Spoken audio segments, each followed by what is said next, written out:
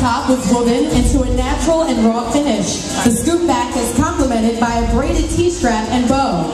Her mini skirt was created from hand-painted newspaper from a rice sack and was cut into strips and woven into a form-fitting design. A Filipino hand-woven mat and palm leaves were repurposed to create her A-line stack skirt.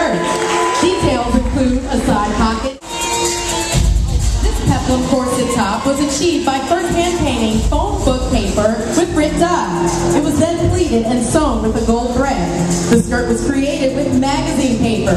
It was also pleated, constructed into fans, and hand sewn. Five stuffed plastic bags make a petticoat,